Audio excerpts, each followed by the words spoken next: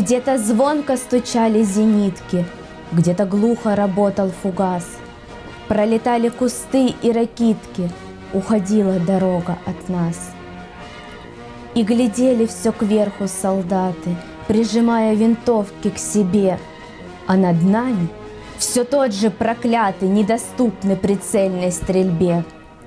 И гремели под нами каменья, грохотал и рычал грузовик.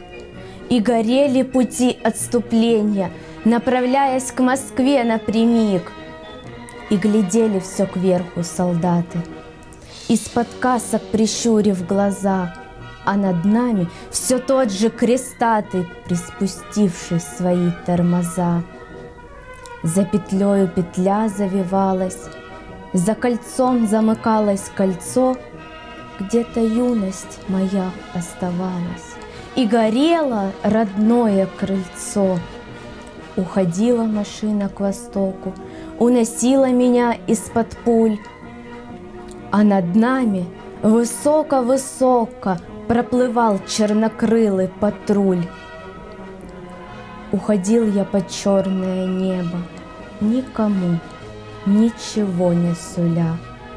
И пред ликом Бориса и Глеба на колени бросалась земля.